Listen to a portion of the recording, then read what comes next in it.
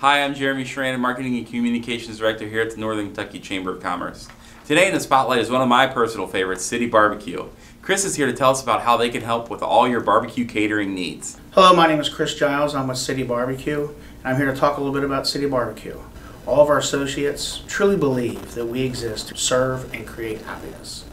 I'm here to talk about our food. Our food is made fresh daily. We have wonderful beef brisket, pulled pork, ribs, fresh scratch made sides that you can come and get daily. We have a great menu for caterings, business meetings, or special events. City Barbeque is a true smokehouse. Each joint at City Barbeque smokes meat daily. Brisket, pork, chicken, turkey. City Barbeque has full service kitchens. We make all of our sides are scratch made. Green beans, mac and cheese, potato salad, corn pudding. Come and check them out. City Barbeque has four great locations for you in the greater Cincinnati area. We have the one in Florence, the one by NKU, the one in Eastgate, and the one in Blue Ash.